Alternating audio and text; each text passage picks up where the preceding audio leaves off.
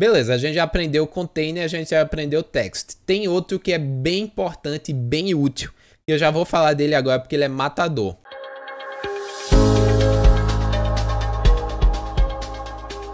É o scaffold. Quem já programa sabe que quando essa palavra scaffold aparece no framework é porque vem uma boa mão na roda aí. E não é diferente em Flutter. Se você vier aqui, eu vou tirar isso tudo aqui. E vou botar para esse return aqui do build, ele ser um scaffold. Que é outro tipo de widget. O scaffold não tem nenhum parâmetro obrigatório, mas o que é que ele faz? Ele vai criar uma tela padrão para você. Sabe aquela telinha padrão? Você já notou como os apps são bem parecidos entre si? eles têm várias coisas padronizadas em geral. Alguma barrinha em cima, aquele botão ali no canto, aquele negócio que você arrasta para o lado e aparece o menu. Todas essas coisas são meio que um padrão que foi pensado sim por quem desenvolveu o Material, por exemplo. Então o Scaffold já faz isso para você.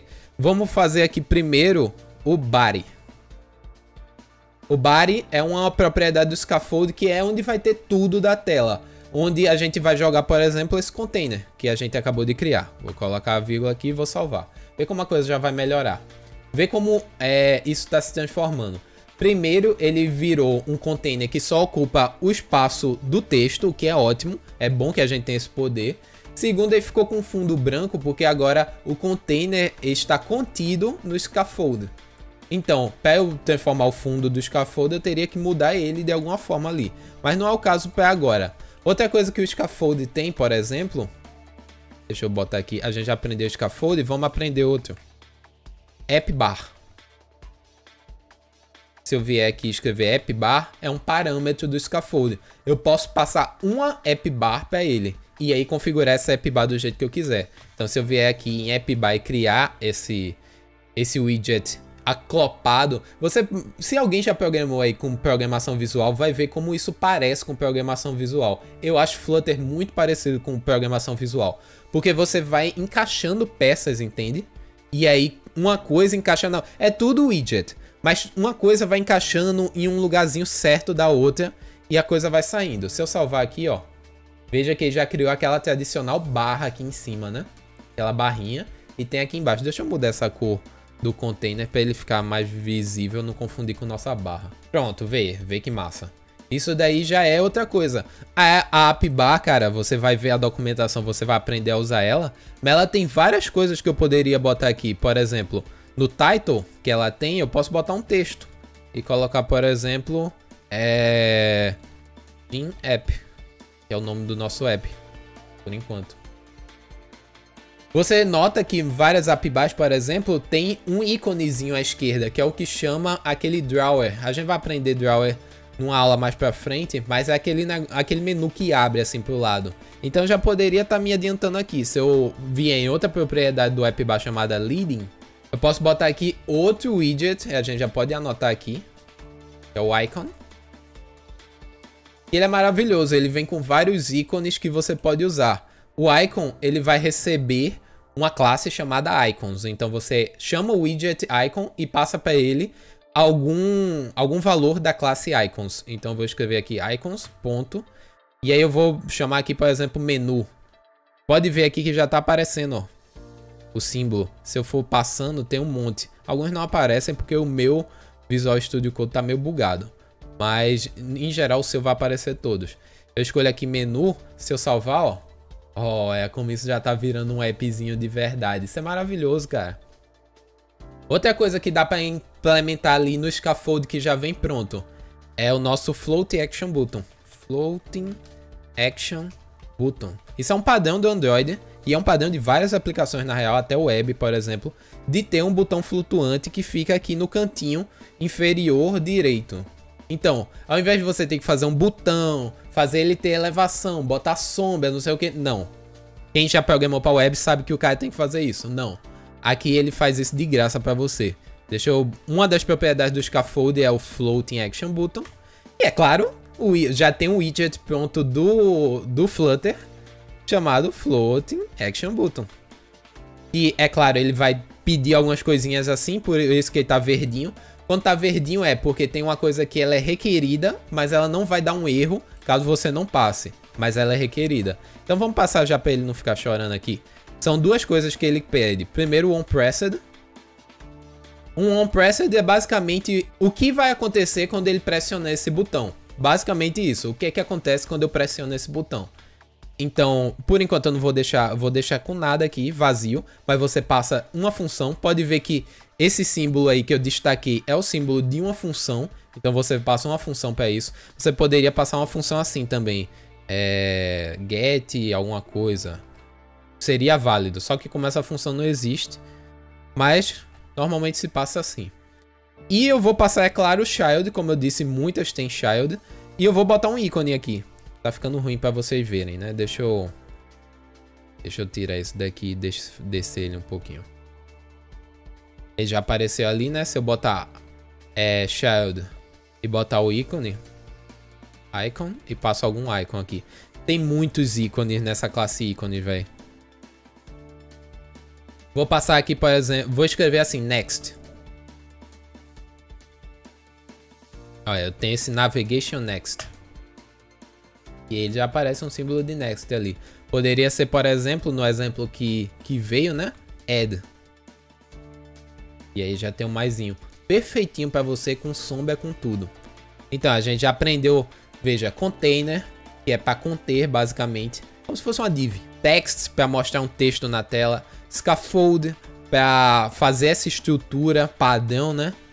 App bar, para ter aquela app base em cima. Icon, para gente mostrar um ícone é, Floating Action Button para ter o botãozinho ali embaixo. E cara, por aí vai, deixa eu ensinar outro aqui. Você que já programou para web assim puro, sabe como é chato centralizar coisas, né? Aqui a gente tem uma coisa chamada Center. E aí você passa qualquer coisa como filho de Center. No caso, eu tô passando aquele container que a gente criou. E quando eu salvar isso aqui, ó. Responsivo, cara, lá no meio. Vai fazer isso com CSS, o inferno que é. Já ali no meio, bonitinho, cara. Isso é fantástico. Isso é incrível. É por isso que Flutter é ágil. É, agilidade é isso aí. Você não tem que ficar quebrando cabeça, ficar repetindo coisa. É já ter muita coisa pronta para você. Então, para finalizar, vamos fazer aquele exemplo e veio que quando você cria um novo projeto, ele vem que é conforme eu vou clicando ali, ele vai mostrando é, ele vai incrementando o número. Para isso que a gente vai precisar. Dentro desse, dessa classe aqui, eu vou criar um inteiro. int é, i igual a zero. Criei um inteiro, né? Beleza. O que, que a gente precisa? A gente precisa de algo mostrando na tela esse i, é, o valor desse i. E a gente precisa que quando eu aperte aquele botão, esse valor mude. Então vamos resolver a primeira coisa mostrando na tela. Em vez desse texto aqui, eu posso simplesmente botar i. Só que i vai dar erro, né? Porque é um inteiro e text precisa de um string. Então eu boto i to string. A gente aprendeu isso em Dart. Se eu salvar aqui, ó, já tá zero. Vamos dar uma melhorada? Deixa eu tirar essa cor, não faz nenhum sentido. Deixa eu botar a cor do texto para ser azul. Por que não? E vou aumentar a fonte, deixa eu botar a font size para ser 72. Se você clicar Ctrl e clicar em qualquer uma dessas coisas, cara, no container, no child, num parâmetro, numa classe, o que for, se você clicar, ele te leva direto para a documentação interna, ou seja, para o código que foi escrito e como aquilo funciona, porque Flutter é código aberto, cara, você pode ver o código. Então, você vê os comentários lá. É uma forma de chegar mais rápido ainda do que ir na documentação procurando no navegador, por exemplo. E aqui, por exemplo, a minha curiosidade era qual é a fonte, qual é o tamanho de fonte padrão? Se eu não botar nada, ele fica em que tamanho? Eu tenho a resposta aqui, ó. O padrão é 14. Então, para eu ter uma referência, eu botei 72 é bem maior do que 14. Beleza, eu já estou mostrando na tela. O que eu preciso é que quando eu aperte aquele botão, ele incremente, né? Então é isso aqui, ó. Eu não estou dizendo que o onPressed é o que acontece quando eu aperto o Floating Action Button. Então eu vou vir aqui e vou botar, né? I igual a I mais 1. É, infelizmente isso não vai funcionar. Não vai dar erro. Mas se eu clicar, ó. Nada acontece. Por quê? Por causa daquele negócio de estado que a gente falou e vai ter um vídeo só sobre isso. Que é quando você está trabalhando com o Flutter, é, você só muda coisas, né? Como eu falei, você só muda coisas na tela se você estiver usando o Stateful Widget. E para fazer isso, não é só mudar uma variável que ele vai se atualizar. Você tem que usar um método especial chamado setState que ele gera essa funçãozinha aí dentro e tudo que você botar dentro, aí sim vai ser atualizado na tela. Então, se você quer fazer algo que vai atualizar na tela, você tem que botar entre esse set state.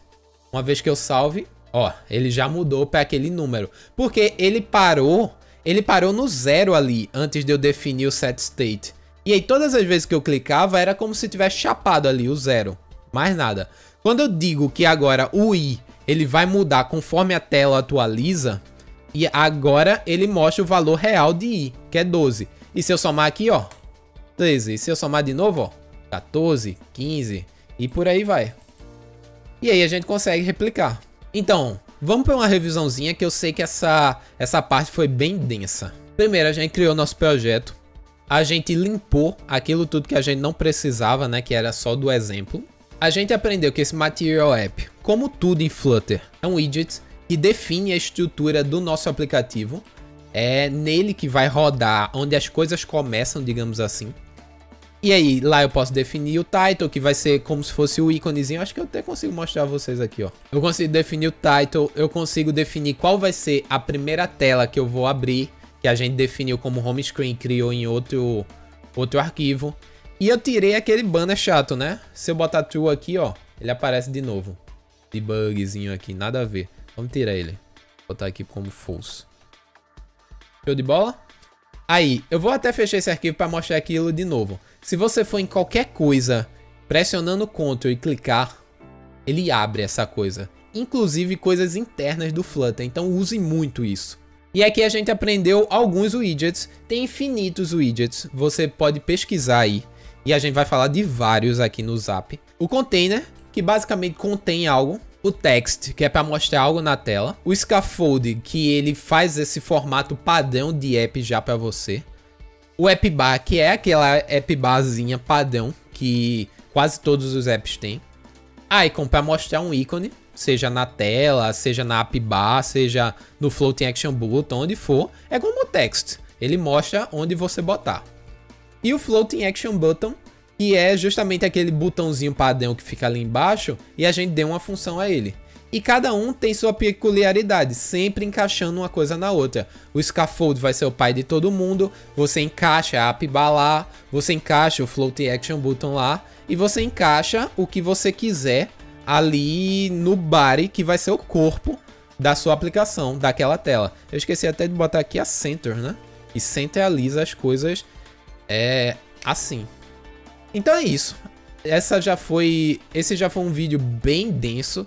Então tem muita coisa aí para vocês irem testando, testem bastante. E eu vou deixar um desafio para vocês dessa vez. Eu quero que vocês comecem a pensar, vocês vão olhar aí aplicativos que vocês usam e vocês vão olhar a login screen desses aplicativos, que normalmente é a primeira tela, né? Quando você não está logado, aparece aquela login screen que te pede para é, te informar o e-mail, a senha ou para se cadastrar. E aí eu quero que vocês façam isso. É claro, não vai dar para fazer com tudo que eu ensinei aqui. E isso é incrível, cara, porque vai te obrigar a pesquisar as coisas. Então, esse é o meu desafio para vocês. Pesquisem e tentem fazer do jeito que vocês conseguirem uma login screen com o botãozinho, com tudo, que vai ser, a gente vai falar exatamente sobre isso na próxima, no próximo vídeo. Então não deixem de fazer esse desafio, façam lá. Como de costume, é claro, tá aparecendo na tela dois cards para que você nunca pare de aprender. Na esquerda da tela você vê a playlist do Papo de Programador e aqui à direita em cima de mim você vai para o nosso próximo vídeo onde a gente vai resolver esse desafio. Clica lá, eu te vejo lá, tá?